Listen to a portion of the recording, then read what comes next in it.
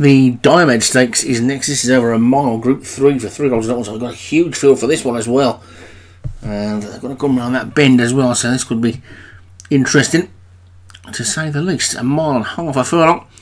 Arkansas Auctioneer at the top of Vinnie Gerard. Avison Office for David Robertson. Both of them winners last time. French Fries, Joshua Sutherland. Lion Rebellion and City Art Gallery for Jim Murray. London 5, James Shea. Stimulate, Joshua Sutherland. James Doughty Wiley, James Shea. Magnus Mohair, Paul Rhodes. Medina Spirit, Dan Hughes. Purple Pursuit, Munas. Great Myaster, Darren Thompson. Hooded Goddess, Leon Van Rensburg. Molly Jive, Jai Bernstein, Queen at Court, Leon Van Rensburg. Zambezi River, Paul Rhodes. Blue Lake Munas and Laguna Beach Dust for Vinnie Gerard. 18 of them then. And away they go. And who's going to get to the lead? One or two of them refusing to settle and pulling for their heads, and it's French Fries who's going to get across to that fence and lead with Purple Pursuit.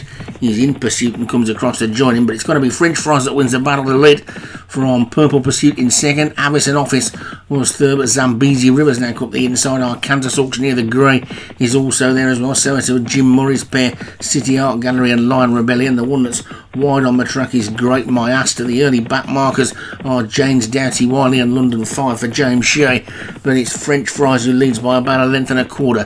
Two in second place, Purple Pursuit. That one's got a two length advantage over City Art Gallery. Avison Office is next, then come Arkansas Auctioneer and Laguna Beach Dust Lion Rebellion between them. Molly Jive is after that one. Magnus Mohair is next. Stablemate Zambezi River just lost its place on the inside. The Leon Van Rensburg pair are running wide. Hooded Goddess and Queen at Court wide are still Great Master, but it's French Fries who leads in as they race down towards the final three. French Fries in the lead from Lion Rebellion has now moved through into second. Then Laguna Beach just not Kansas Auctioneer. Mohair Magnus is moving through as well. So too is Purple Pursuit. Avison Office is still there as well, but it's French Fries who's got a two length lead past the two.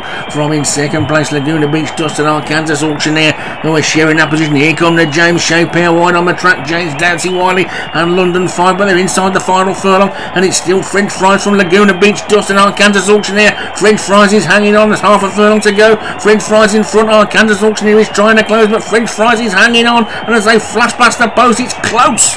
It might be just Arkansas Auctioneer who got up on the line. Looked as though Joshua Sutherland's horse was going to hang on, but one last effort from the grey may have just got up to take it. Those on the rail definitely had the advantage, and it's a short head win for Arkansas Auctioneer for Vinnie Gerard. French fries for Joshua Sutherland was second. The third place horses momentarily disappeared from my view. It was Amazon Office for David Robertson, and Jim Murray was fourth and fifth with Lion Rebellion and City Art Gallery.